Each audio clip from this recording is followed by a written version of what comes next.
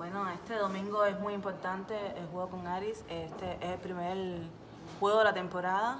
Este, con siempre los juegos con, con Aris es muy... Siempre vamos a 3-2, nos conocen como nosotros también las conocemos a ella. Ya hemos echado muchos juegos de, de pretemporada y todos lo hemos ganado.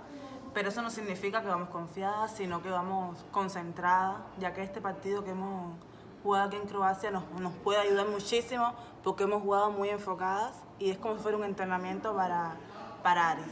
Espero que el equipo vaya fuerte con la potencia que tenemos en el saque, en los ataques, en la definición y nada, esperemos lo mejor de todas las chicas.